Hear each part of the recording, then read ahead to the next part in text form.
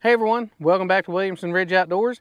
Today we are out in the hayfield and we are getting a little bit of hay cut. It's been raining for the last couple of days and I'm hoping that it's not too wet right now and that uh, you know this actually will end up drying out over the next few days. So what I'm going to do is just get it all cut down and I'm going to go through and ted it and kind of fluff everything up and hopefully the ground underneath will dry out enough to let the hay dry out also and if I have to, I'll ted it, you know, more than once and just try to get it to stay up off the ground and get everything to dry out at once.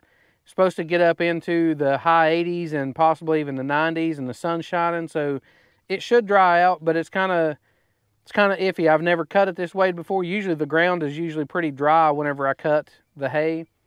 But I really don't have any options right now because I'm trying to get this cut while I'm on vacation and get it put away because this first cut of the year is the biggest cut. It's tough to cut the hay, rake, and bale the hay with one tractor and one person. So it's a big job, but it's an enjoyable job. I really enjoy cutting the hay and getting this product, you know, pretty much out of, or the finished product out of it. But I couldn't be happier with the results and the way that the hay is looking this year. We have used our Super Lime Plus to bring our pH level and stuff up on our on our soil and it has made such a drastic difference in how thick and full our hay is. Of course, we have fertilized also on top of that, but whenever we done our soil test, you know, our soil test went from 4.9 to now 5.9. So we raised it up a full point, and it has made a drastic difference of how much grass is coming up and how little weeds are coming up.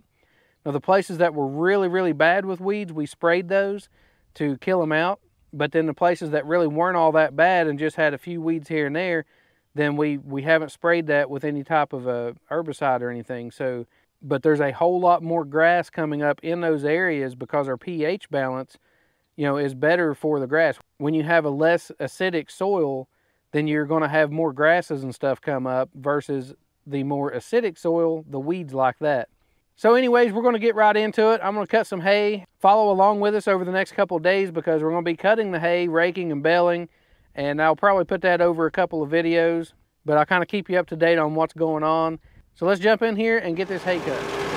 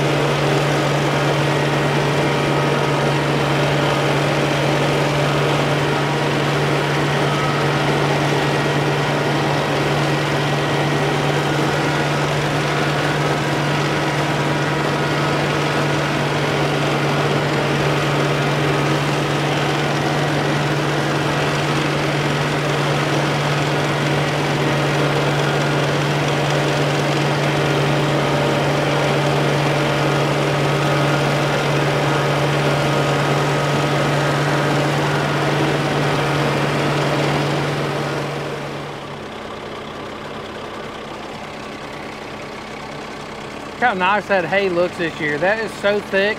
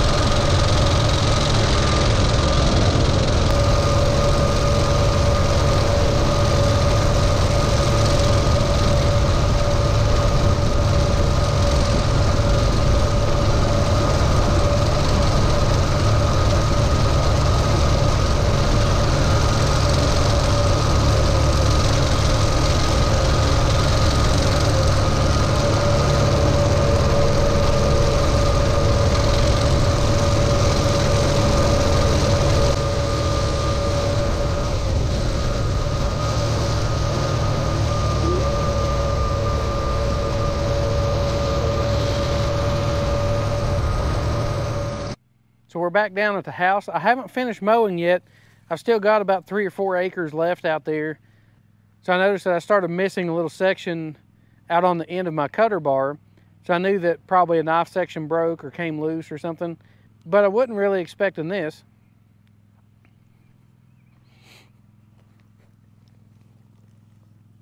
So the knife section actually came loose from the rivets and turned and is stuck in between an existing tooth and another one. And it was rubbing on this going back and forth. And I thought I smelled something get hot. And I heard something change in the sound. But that thing stuck in there pretty tight. And it's extremely hot, which is why I'm not touching it right now. You can kind of see where it's forcing a little bit up on the guard and stuff here. And it kind of wore this a little bit more than what it should. But it's not bad. It's just a tiny little bit but you can just kind of see that that is a little bit shinier than what the rest of it is and what some of these down here are where they don't really have pressure against them you can even see like these still have like grass stain and stuff on them but where this one got kind of wedged in there it kind of run these a little bit hotter so anyways i was kind of expecting that anyways a, a knife section being gone or broke or something so I knew I was going to have to repair it. But then when I got down here and I was parking the tractor for a minute because I was going to go get some tools and everything to, to change this out, I had the, the tractor just kind of resting and the, uh, the cutter bar resting up in the air. And I shut the tractor off and I heard it start leaking down. And I was like, uh-oh, there's something either come loose or something broke or busted. So then I noticed that my hydraulic hose has a busted place in it and I'm going to have to get that fixed before I do too much. I may be able to go ahead and kind of finish the job, but it definitely is busted and started leaking. So if it's not one thing, it's another, it seems like. So I don't know, I, I don't really want to run it leaking because then you're using excessive hydraulic oil and that is expensive right now. So I'm gonna take a few minutes, take me a lunch break and I'm probably to run out to the local tractor supply and hopefully they'll have a hose that I can kind of match up to, to fit on here and I'll just replace the hose and forget about it. But what I originally came down here to do was actually change that knife section and get my drone because I was going to get you a little bit of drone footage of doing some mowing, but I'm also going to go through and use the drone to kind of take pictures and video and document the hayfield whenever you cut the hay, the sections that have weeds, those leaves really, you know, are kind of spread out and you're seeing the back side of them. So they show up as a really like almost white color. So I can take the drone and kind of fly it over and take a picture and I'll see the areas that have more weeds and stuff in there so that I'll know where I need to focus my spray and stuff at in order to get the most out of my weed killer. That's one reason I wanted the drone to begin with is to be able to go out in the hayfield and check things out. And you know whether it's checking on the horses i can fly the drone out through there and check on the horses and see where they're at in the field without having to walk all the way out there. Because it's a little bit over a half mile from the house all the way out to where the end of the field is at also i can do things like that i'm talking about and kind of document the thicker areas of weeds and stuff that we have and then that way i'll know where to focus that spray so let's head to tractor supply i'm to see if i can find me a hose to fix this if not then i may just try to put some sort of tape on there or something in order to kind of get by. I don't know if a tape, it's, it's more of a seep, it's not spraying out. So maybe the tape will kind of help keep some of the fluid from leaking out, but we'll just have to see.